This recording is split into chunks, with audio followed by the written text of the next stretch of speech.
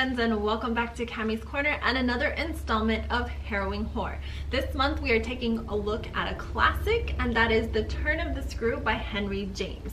This is a gothic fiction novel and it is a novella. It's important to point that out because a novella is intentionally written as such so that it is shorter than a traditional novel.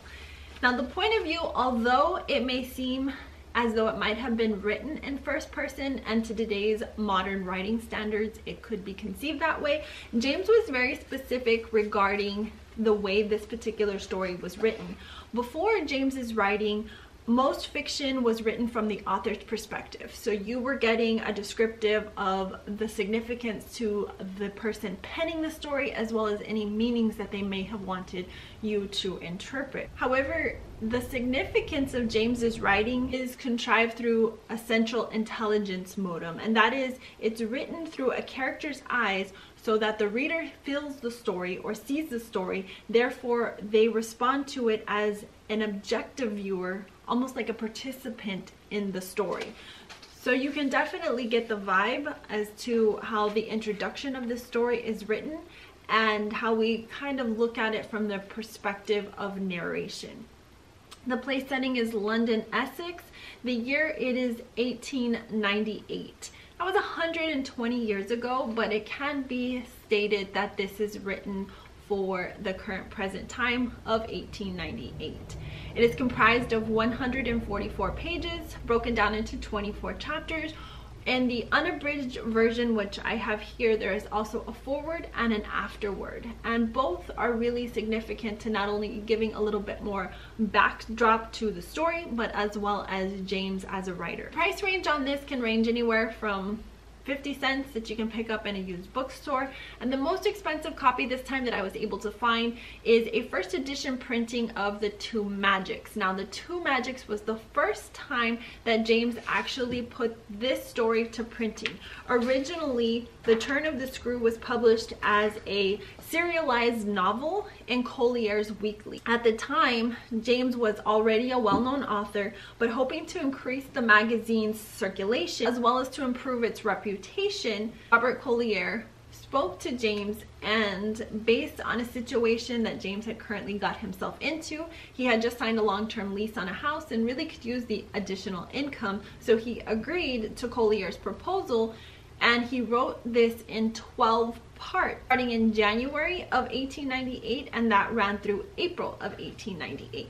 So the very first publication of it in fact was in 1898 but it was comprised with other works written by Henry James.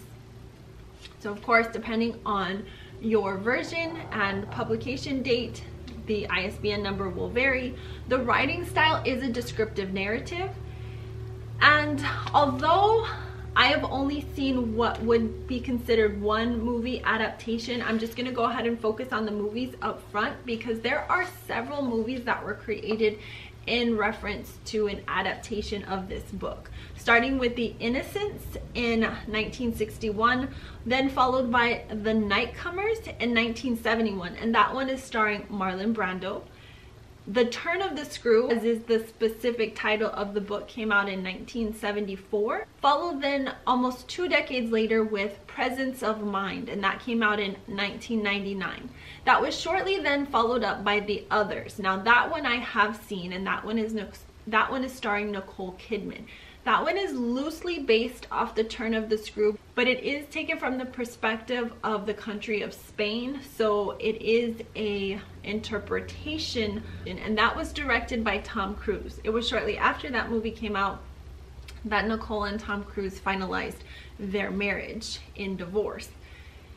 In 2006, in a Dark Place came out. And then again in 2009, we have the same title of the book yet again, The Turn of the Screw. So again, the only one of those that I have seen is The Others. And I, I remember it being very dark and it definitely gives off the vibes of this story now having read this story. But I also remember Nicole Kidman having given up on that project uh, towards the end of the film because she has to essentially then murder the children and I remember her saying that it was giving her nightmares and so forth. So Um, again, although not specific to the story verbatim, it is very close in an adaptation. A turn of the screw is merely an action that makes a bad situation worse, especially one that forces someone to do something. James was very adamant right from the preface of this book to indicate that Peter Quint and Miss Jessel were not ghosts and that over time it was misunderstood or misinterpreted. During the time in which James penned this book, belief in ghosts and spirituality was very prevalent in England as well as America. The spirituality craze started back in about 1848. There was an incident with two young sisters by the last name Fox who lived in New York and the story became very famous because they were reporting they heard unexplained rappings in their bedroom, which is kind of just like a knock at the door. And it was believed to, of course, being conducted by that of a ghost. It was within that same year of 1848 that you started to see literature surface about ghosts and ghost sightings, and it became a very popular craze. Of course, everything has a reason, and the rise in spirituality's popularity came within the 19th century as a delusionment to traditional religion. And I think that it's continued that way because we see the creation of other such religions, such as uh, Wiccanism and so forth that kind of offset the normalities of traditional religion. So let's take a look at some of the characters that are within our story and then we'll just kind of look at the setting overall of this story. Prominent figures of course are the governess, Miss Grose, who is the housekeeper. We also have Flora, she is an eight-year-old. We have Miles, who is her older brother, who is 10 we have Peter Quint, who is the deceased valet of the uncle of both Flora and Miles. And then we have also Miss Jessel, who is the previous governess and is also deceased. Now there are some other characters that aren't really maybe perceived as characters because of the way our story opens. We have our narrator and then we also have Douglas. So our novella begins as we see a group of friends sitting around a fireplace on Christmas Eve and they are telling ghost stories. Again, this is perceived to be modern day 1890s setting of England and a man named Griffith is telling a ghost story about a little boy. That is when Douglas intercepts and he proposes to tell more of a true story about a woman who is now deceased and who was once his younger sister's governess and he had a enamorment for her. Three days later, we see that a manuscript arrives in the mail and then Douglas begins to narrate the story. Douglas then goes on to explain that the woman had interviewed first for a governess job on Harley Street and she was quite smitten with him. Thus, he was able to convince her to accept the position of governess of his niece which is Flora, and his nephew at his country house in Bly.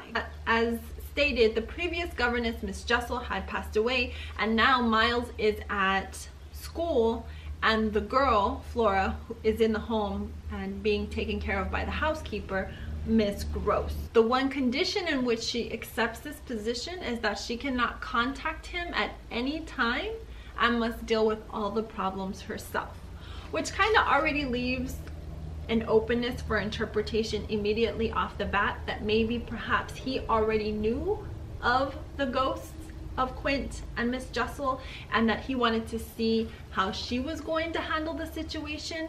Perhaps in a way he was possibly the reasoning behind her madness. Now when she arrives at Bly, she is then initially met by Flora as well as Miss Grose, the housekeeper, and she receives a letter from the headmaster at Miles School indicating that his school is refusing to allow him to return back to the school after the summer holidays. So she's already got all of this to work with full well knowing that she has no ability to contact Douglas at any time. She's got to handle this all on her own. Once Miles arrives, the governess immediately starts to describe these children as beautiful and angelic, almost in a very creepy sense you get this very uncomfortable feeling that she's She's taken an extra liking to them to appease Douglas because she knows that if she makes him happy, being that she's smitten with him, then perhaps she can impress him, thus keeping her job and possibly looking to get her closer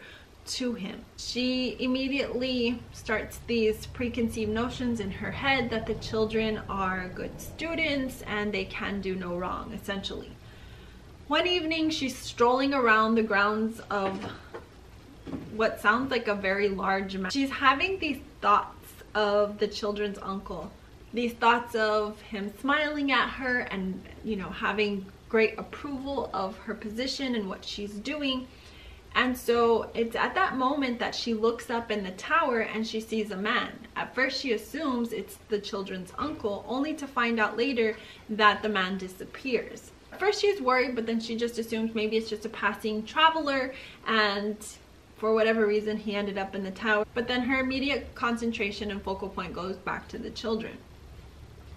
One rainy day, however, she goes into the dining room looking for her gloves and outside the window she sees a man staring at her. She runs out of the house to confront him, but when she does so, he's already disappeared.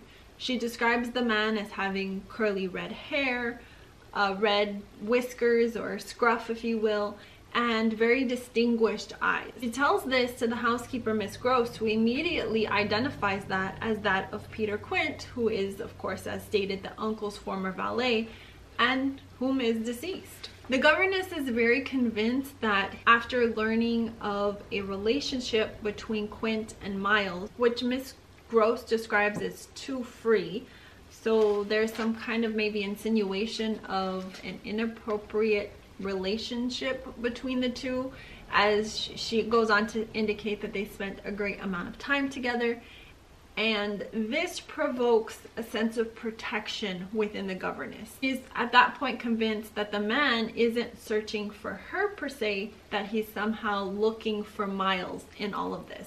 This makes her wonder that if the reason he was expelled from school isn't perhaps something that he did intentionally due to this relationship with Quint. Then starts to have these preconceived notions that the children are intentionally communicating with ghosts behind her back and she's got to keep track of them at all times. So then she kind of becomes, instead of just a protector, she becomes obsessed with these children. You proceed to have these situations in which the governess is seeing these two apparitions. One night she's sitting up late reading. She hears something in the hallway only to see Quint standing in the hallway yet again. And then when she goes back into her room where Flora, the little girl, also sleeps, she finds that the little girl has risen from her bed and is standing behind a curtain looking out the window. To which she says that she thought she saw someone outside. However, there was no one there. Have then yet another night where the governess sees a woman sitting at the bottom of the stairs with her head in her hands as though she has been crying. Several nights after that, she then wakes up again to find Flora behind the curtain looking out the window. Only this time to find that Miles is standing outside. Little creepy. So she's holding all of these sightings inside and she decides to finally let Miss Grose in on it and she tells her what happened to then indicate that she feels most certainly that the children are meeting with these ghosts intentionally in secret to spite her. Thinks that Miss Jessel as well as Quint are somehow trying to possess these children to come to the other side with them and lead them to their deaths. Miss Grose at that point starts to become a little worried and she then suggests that she's going to contact the children's uncle and the governess immediately takes offense to this and says that she'll leave if she in fact does that. So you kind of at that point start to see a breakdown in the governess because she mimics the situation that she encountered at the bottom of the stairs where she finds herself with her head in her hands and she's crying and then for whatever reason she kind of lets that pass and she decides to stay. At this point though you do see where there begins to be a disconnect between the governess and the children. It's almost as though the governess is trying to create this paranoia within the children perhaps to scare them away from the ghost but inevitably what it's doing is scaring them away from her. They don't trust her as much. They're quite fearful and frightened of them. So the next morning, after all of this ensues, Miss Grose tells her that Flora has developed a fever and she is absolutely terrified to see her. She feels as though she's being coerced into giving the governess information that she doesn't possess. The governess is continually hinting at, not directly asking, what are you seeing? What are you looking at? You know trying to probe her for information. And all the while flora is a young child. She's eight. She she hasn't seen anything. The only thing she has attested to is looking out the window and having seen her her older brother outside, which yes is curious, but there's nothing she has to admit to the governess. So she becomes very frightened by her and wants nothing to do with her. Also another incident where Miles has disappeared. He's wandering the grounds. She finally gathers him at the end of the day and the two of them are sitting at the table and they're eating dinner and she sees Quint yet again through the window. She kind of engages in a conversation asking Miles what is on his mind, what's going on in his head, and she really wants to know what happened at school. So as she's pressing him for all of this, there was a letter that was written that she had pinned with the intent to have it sent out through the mail to get to the uncle. She had left the letter on a table with the intent for Lou, who is one of the servants in the mansion, to pick it up and take it. Well, it was discovered that Miles had picked up the letter. He eventually, within this conversation, does admit that he did pick up the letter and eventually dispose of it, but she becomes very irate during this conversation with him. She really just wants all of these questions answered you know, what happened at school. He proceeds to admit that there was some rumors, if you will, um, that he started with friends, amongst friends, about friends, and that kind of got him into the situation that he's in. Um, she's still very adamant that she wants the children to admit to her that they're seeing these ghosts, that they're communicating with these ghosts. At that point, she still sees Quint in the window. She makes the observation, she informs Miles, and Miles then responds in a very subtle way. He asks the governess, it's he? And so she uses this as an opportunity to kind of get inside of his head, and she's like, he who, to which he admits Peter Quint. Proceeds to call her a devil and ask where, where is he at? At this point, she's trying to show Miles where Quint is standing out the window, only to find that at this point, the boy has grabbed her arm, fainted, and his heart has stopped beating. I thought that was a really cool way to end the story. So one child dies. We can only assume that Flora's fever, given the time period, is probably not going to get any better. What I loved about this story is that really leaves a ton of room for interpretation because you have to ask yourself, first and foremost, were these apparitions bad? Were they evil? Or were they merely trying to save the children from the new governess, knowing her intent was malicious and self-serving? Then it also leaves room for interpretation of how much the children really knew that they didn't say. I think oftentimes when it comes to horror, most people read it with the intent to get a good scare. And with classics, a lot of times you'll hear negative reviews when people read them in modern times because the scare factor wasn't there. The the story, as it's stated often, falls flat.